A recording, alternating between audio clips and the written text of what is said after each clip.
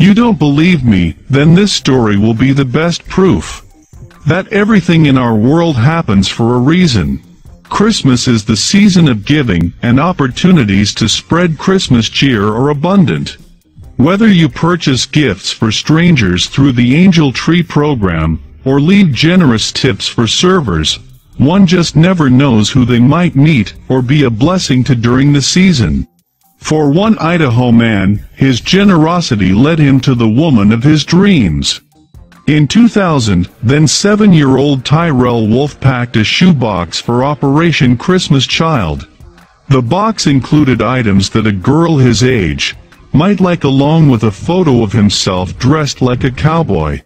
After turning the box in at his church, Wolfe didn't give it much thought.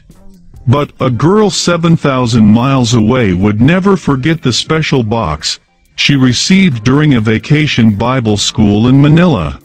Joana Marchan wrote a thank you note to Tyrel, but the note never arrived. For 11 years, Joana thought often about the boy who had sent her a Christmas box. She eventually took to Facebook to see if she could find Wolfe. She found him and sent a friend request, but Tyrel denied it because he didn't recognize the name. Two years later, Joana sent another friend request. Tyrel responded this time, asking Joana how they knew each other. She told him that she had been the recipient of his Christmas box so many years earlier. The two kept in touch and developed a deep friendship. Tyrel knew that he wanted to meet Joana face to face and saved his money for a plane ticket. A month after his high school graduation, the couple met for the first time. When I finally got there and saw her, I had to punch myself a couple times because I thought it was a dream, Tyrel told people. I was immediately attracted to her.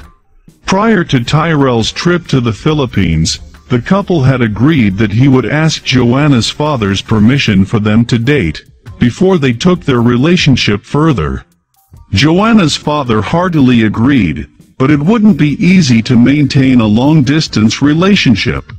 I wanted to spend every moment I could with Joana while I was there, because once I left I didn't know what would happen next, Tyrel told people. Upon Tyrel's return to Idaho, the two stayed in touch through Facebook and talked via Skype whenever they could. Wolfe returned to the Philippines for a month-long visit the following November and asked Joana's father for permission to marry her. The two wed on October 5, 2014 in Idaho and have since welcomed a son. It just goes to show that you never know what might come out of your generosity and who you might encounter when you least expect it.